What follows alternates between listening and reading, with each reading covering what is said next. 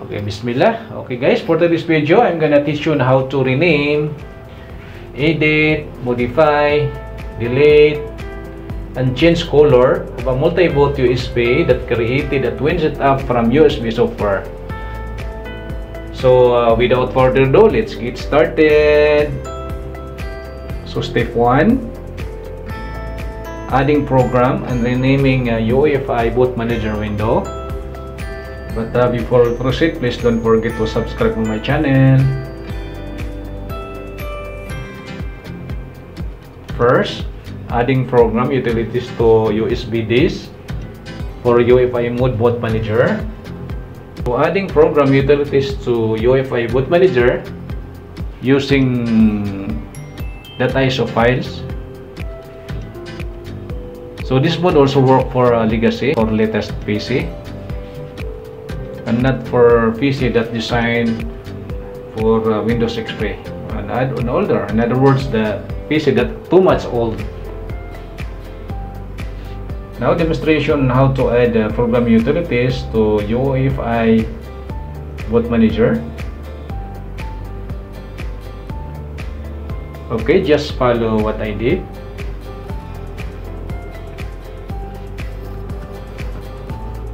The file must be ISO format.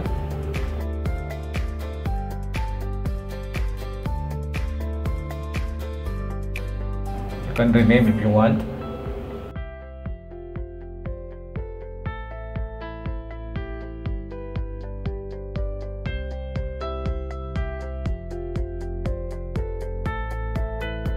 Okay this is now the at fault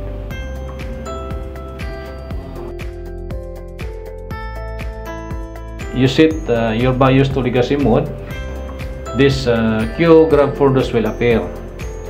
Then if you select this entry, uh, Windows NT6, Vista slash 7 and above, you will be directed to the UEFI boot manager.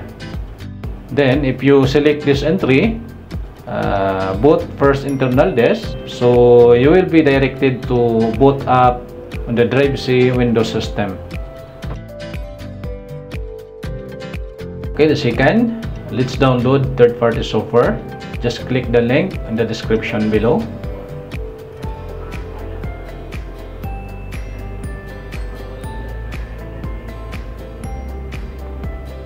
Click download. Click OK.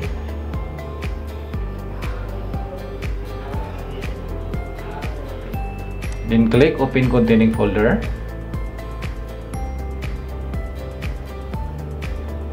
Then extract it using WinRAR or 7zip.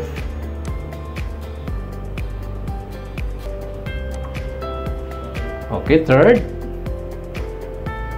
uh, renaming, editing or deleting program utilities for UEFI mode boot manager, DOS or block mode. Now, insert your uh, bootable uh, USB drive that you created from when set up from USB software. Then, open ECBCD portable uh, folder that you are downloaded. Then, click ecbcd.exe file.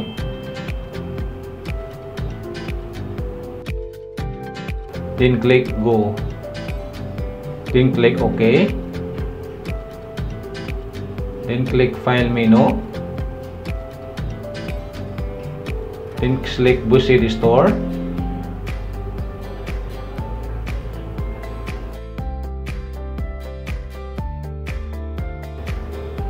Now select your USB drive bootable.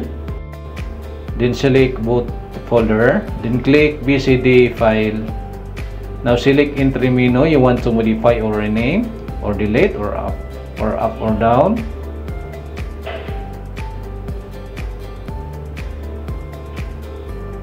Then click save settings.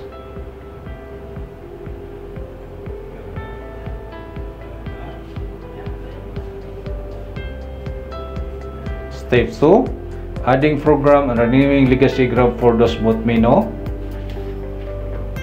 First, adding program utilities to USB disk for legacy mode, Grab4DOS Boot Manager, adding program utilities to legacy Grab4DOS Boot Manager using ISO files for legacy mode only.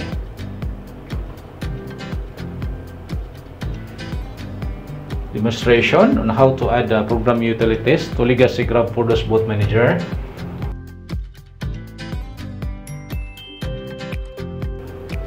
So just uh, follow what I did.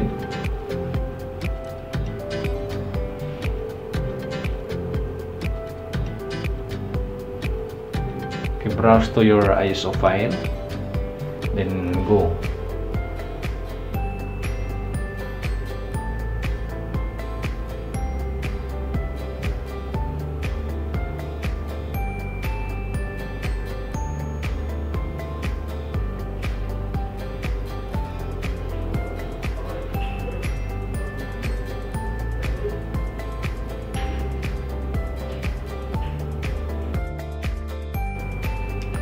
Now the output okay uh, second uh, renaming editing or deleting uh, program utilities for legacy mode Grab4DOS boot manager.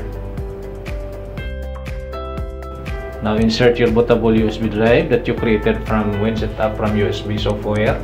Now uh, open your bootable USB drive that created. Then for the first time right click menu.lst file then click open with then click notepad.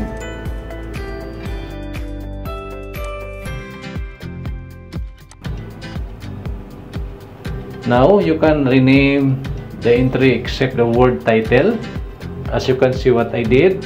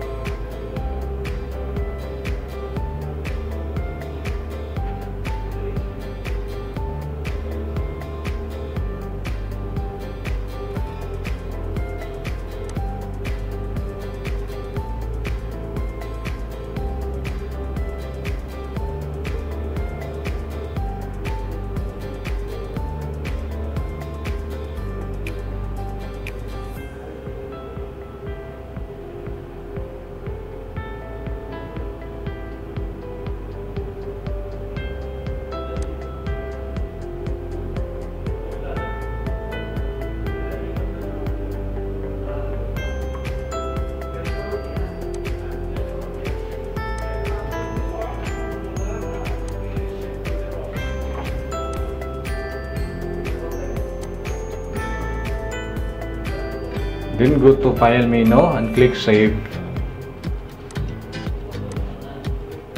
Then, Alhamdulillah. Step 3 or last step, changing color of the QEMU or QEMU Grab4DOS Boot Manager. This is the default color.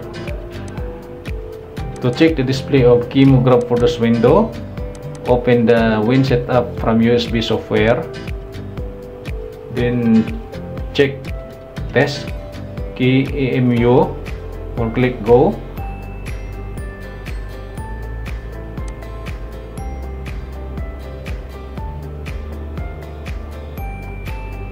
Okay this is the default color now. And we will change this one. So open your bootable USB drive then for the first time right click menu.lst then click open with then click notepad.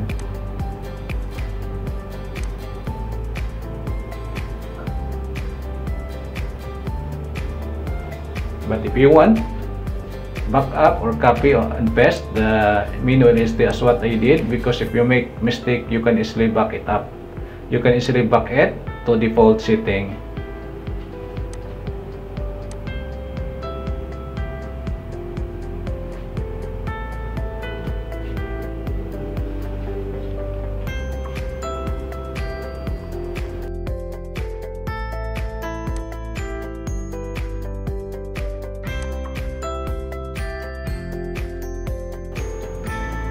now. Right click window that listed then click open with then click notepad. Now you can edit the text color black slash cyan yellow slash cyan this is the default original color made by the programmer. Now you can edit the text color black color black cyan yellow and cyan to other color you want to. That's what I did to test close the Kimo window then reopen again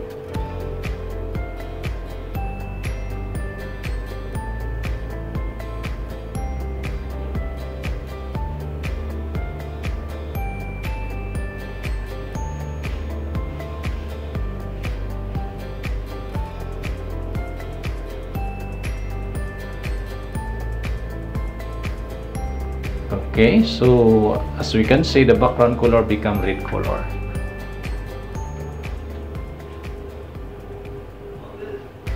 Thank you for watching. So if you like this video please don't forget to subscribe on my channel